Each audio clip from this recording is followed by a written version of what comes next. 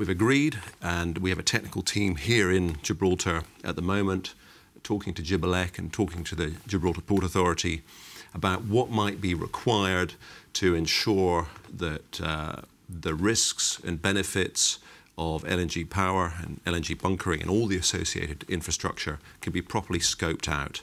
So that then a proper bit of work can be agreed, you know, whether that's with us or with other parties, to help ensure that those risks can be quantified, uh, to get to a point where uh, the government, where you know, all stakeholders, the people of Gibraltar, are comfortable with any decisions that might be need to be made. Okay, so from what you're saying, uh, it seems to me that what you're doing is very much, if you like, setting the parameters for a subsequent safety report that Lloyds may or may not do yourselves. Yeah, that's right. At what point will you know the, what the safety parameters are? How long will it take? I, I, was trying to get the chief minister to give me an answer yeah. on this, and he didn't want to pressurize Lloyds into any sort of time frame. But can you give us an indication? Well, I don't want to preempt what our technical guys, you know, our, our team might be might be uh, uh, able to say or, or, when. But certainly, we're acting with great urgency. And the chief minister emphasised uh, the importance of moving fast, and I think uh, our initial discussions as well with the technical team uh, from Gibraltar that we had in London previous to that meeting with the chief minister also emphasised the need to move quite quickly. So I can't say when, mm -hmm. but it's going to be as soon as practically possible. Is it likely to be before the end of the summer? I think in terms of scoping, we'd certainly hope to be, you know, knowing what needs to be done by September by September, and yeah. the safety report thereafter, even though... We don't take that as gospel, but you know, that, I think that would be the intention. Sure, and, and uh, as from that point onwards, even though Lloyds may or may not do that report itself, yeah. from your own experience in this area, how, how long would a, a, comprehensive safety report take to produce? I, I, mean, that's really hard to say, and, and I really don't want to, um, you know, say anything that my technical teams, you know, might agree with. Um, but I think I, would like to emphasise that you know we, we can try and work as fast as is required.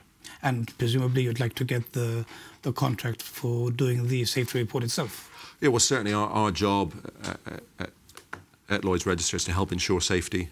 Uh, so if we can you know, help ensure the safety of, of any projects going on in Gibraltar, uh, we'd love to be involved. Okay, as you say, safety is, is the yeah. prime concern for everybody, yeah. including Lloyd's, and very much so mm. for the mm. people here in Gibraltar. The, the point that is being made by the opposition mainly, of course, is, is that nothing is 100% safe, that no matter what you do, what anybody does, there's always going to be an element of risk.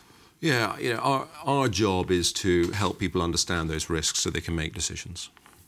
Uh, you know, life is risky, obviously. Mm -hmm. um, anybody making a decision has to look at the benefits and then uh, assess the risk properly.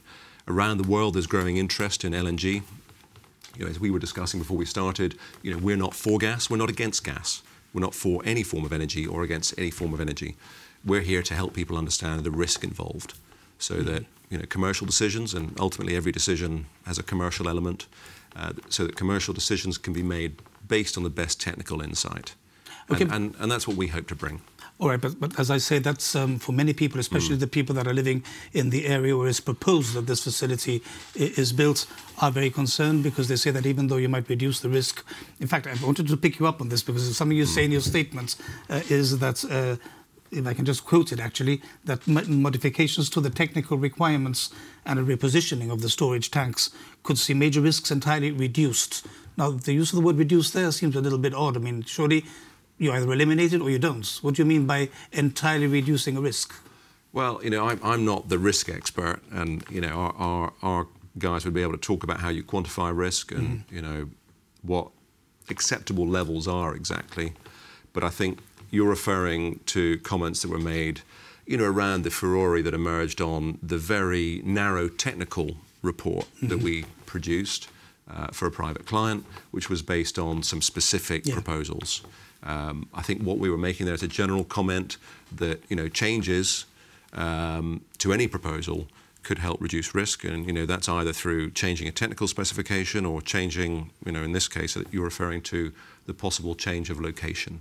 Mm -hmm. um, you know there is there is no you know absolute way to eliminate risk. I don't think unless you don't do something. You know, and and I, I, I think the challenge anywhere around the world where there's growing interest in gas and, and so far, I think, you know, certainly the marine sector, uh, where we're most active, but in general, you know, the safety record of gas has been pretty enviable. And, and of course, you know, throughout Europe and other parts of the world, gas is being used in people's homes every day. Yes, uh, obviously your experience yeah. in this field is vast. So the world is used to gas. The world is used to gas. You know, Gibraltar, and, and, perhaps and, not so much. Well, I, I, understand there used to be gas distribution, distribution in Gibraltar right. many years ago. Um, certainly in a domestic context, mm. I think you know societies and regulators are used to working with gas. Okay, and um, you also mentioned now the, the possibility of, of, looking at other uh, locations. Is this something that in this scoping uh, agreements or arrangement you're going to be looking at? I, I, again, I, you know, I'm not in those discussions. Um, I'm not sure what's on the table uh, exactly and, and, what the alternatives are. Clearly, the geography is very constrained mm -hmm. here, uh, and I understand the options are fairly limited. And um, to what extent, you know, there could be different locations is something that will have to emerge in this scoping discussion to see if that's on the table. Is there anywhere else that you're aware of in the world that has an LNG facility such as the one that's being proposed here in Gibraltar, so close to uh, a heavily populated area? Yeah, I, I don't know. I, am not, you know, you I'm not aware or I'm not unaware. You're speaking well, for Lloyd's Register. You must have an idea of yeah, this. Yeah, well, well, well, certainly I, am perfectly prepared to go back and talk to our technical experts and you know provide you with with uh, examples of the type of projects that that are mm -hmm. uh, being implemented around the world. Okay, and um, I mean, some people might say that it, you don't require a safety report or a safety expert to, to tell you the, the blindingly obvious, which is that if you have an installation that could go wrong, mm. it may not, but if it does, it's very near people that live there. There's a hospital, as the mm. opposition points out. There are schools. There are more and more people going to live in that area. Do we need a report to tell us that it makes better sense to have it somewhere else? Well, that's what we're going to find out do, do you really need to um, go into a, a vast uh, exercise to tell you, as I say, something that's well, obvious think, to most people? You know, I, I, I think the scoping requirement will show what, what's required. Okay, let me, let me, let me go back a little bit on, on the, the report that mm. was initially uh, published in Gibraltar, published by the opposition, and it was commissioned, I believe, by Spark. Um, the government said after that report was made public by the opposition that it had been heavily redacted. Is that true? Yeah, I, I, I, am bound by confidentiality, and you know, I, we haven't sat down and, and, done a gap analysis on exactly what was put into the public domain. It certainly wasn't put into the public domain by us. But why haven't or, you done that already? I mean, this, this, as you say, it's a matter of great controversy in Gibraltar. Yeah. Why haven't you done that analysis? Well, you know, we we have to abide by the terms of our contract. You know, we are mm-hmm. bound mm. by some fairly standard. They're not they're not onerous, but you know, they are. Um, there are confidentiality clauses mm-hmm. in our contract with the, the company that contracted the report. And you know, that's where it is. You know, we, we have to act within the law, and uh, you know, we, we respect the law. Sure, and so there is a possibility that it was redacted heavily. I, I, I can't say. And also, the other point that has been uh, at issue here in Gibraltar is that the opposition says the government has claimed that that report was based on single-skinned storage tanks, whereas the opposition says that it wasn't. I'm sure you can answer whether that is the case. Yeah, I, I, I, honestly actually don't know, and uh, you know I don't want to go into the technical detail, um, and it's probably best if we don't. I mean, certainly our focus now in terms of our role is to look at uh, what is actually on the table in terms of concrete potential proposals and how to scope out an assessment of the risks they may or may not present. If you don't mind my saying so, and I don't say this with any mm. intention of, of, of, offending in any way, but mm. for somebody who comes here to speak on behalf of Lloyd's Register, to speak to the government and to speak to the media, there's an awful lot of stuff that you don't seem to know very much about. Well, I think we understand risk, and um, you know our, our focus now is not on uh, unearthing the corpse of a report. You know that's already been uh, the cause of much uh, debate. Uh, we want to throw light on the real issues now as they stand, uh, and we certainly don't want to get involved in the party politics of Gibraltar. You know, for us, this is about safety.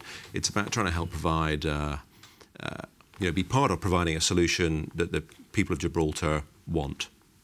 Okay, you, you don't want to get involved in party politics, but. I suppose that you haven't done too badly out of it because you have a commission that's been used by the opposition. And Now you're, you're getting one for the government done. Well, you know, we'll see. At the moment, you know, we're, we're scoping out a proposal. Um, you know, we're, we're not being paid yet. Mm-hmm. Um, how, much are you getting paid, by the way? We're not being paid yet. But you know, for this, we haven't agreed. We haven't agreed any terms yet. Oh, so you know, it's pro bono a, at this stage. This, well, it's not pro bono, but mm-hmm. you know, we're we're as with any commercial undertaking, mm-hmm. we're starting to discuss what might be required and what we might do. Okay, and in terms of the previous report that you did for Spark that the opposition Mm. made public, the GSD, the opposition said it was the cost of that was £100,000. Was it? Again, I'm not going to disclose the, the cost of the report. Why did you tell us? Well, because that, you know that's part of the confidentiality, and and again, you know, I, I'm not sure how it would be taken, and it's probably just best if I don't say anything on that.